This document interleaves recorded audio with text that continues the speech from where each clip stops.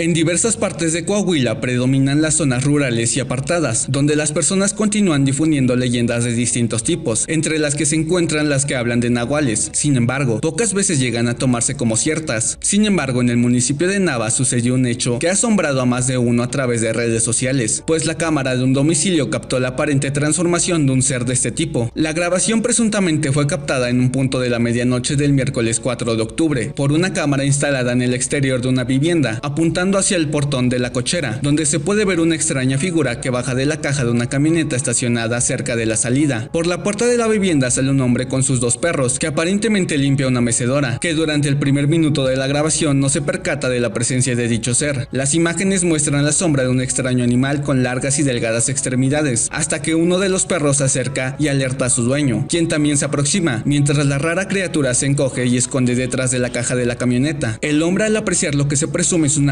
se regresa a la casa a contarle a su esposa lo que acaba de ver, quien también se apresura a salir y atestiguar de qué se trata, mientras que detrás de la camioneta se levanta una mujer que abre un poco el portón y sale del lugar, mientras que uno de los perros la persigue. Dicho clip de menos de dos minutos fue compartido esta semana a través de redes sociales, donde ya ha causado infinidad de comentarios donde destacan la valentía de la esposa al salir a ver de qué se trata.